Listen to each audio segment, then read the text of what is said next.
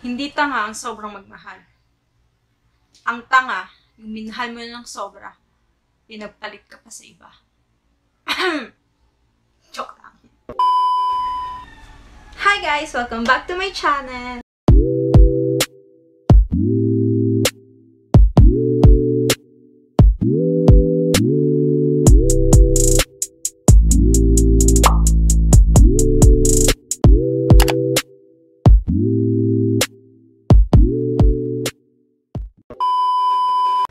Today's video, I'll be trying to recreate Bella Padilla's makeup look doon sa hugot video niya.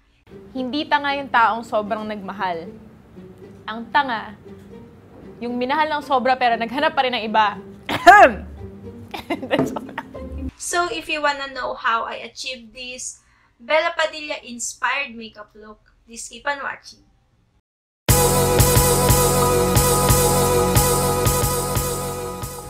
The way, magbabago yung lighting mamaya pag nag-apply na ako ng makeup kasi hindi ko nabuksan yung ring light ko kanina. And, bam!